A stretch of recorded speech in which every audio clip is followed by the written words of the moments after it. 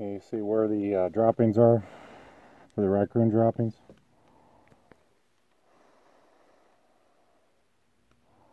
a pile of them over there. And I'm in the attic doing an estimate for uh, some cleanup. You can see where the raccoons are running around. And I'm looking for another area in this attic. I had to go through all these trellises. There's like a tray ceiling. Here you see the uh, paw prints. They're walking across insulation. Probably just at the spray.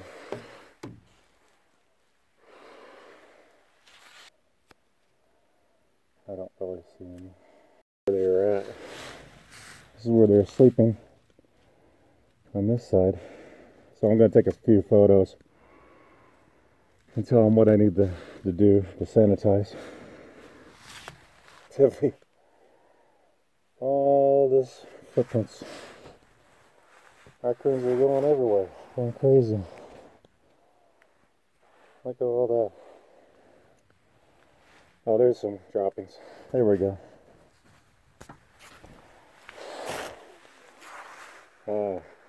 Hit another spot. That's good.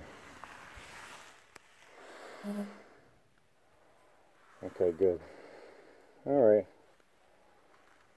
Yeah, it's going further back. I'm to take some photos. Oh, that's they shoot up the ductwork back here. The ductwork got chewed up, so I gotta. There's even more droppings back there. Wow. I can cut this up into a few videos. I'm going to take some photos so I can share with them the report and then I'm going to estimate them. It's going to be a little bit more.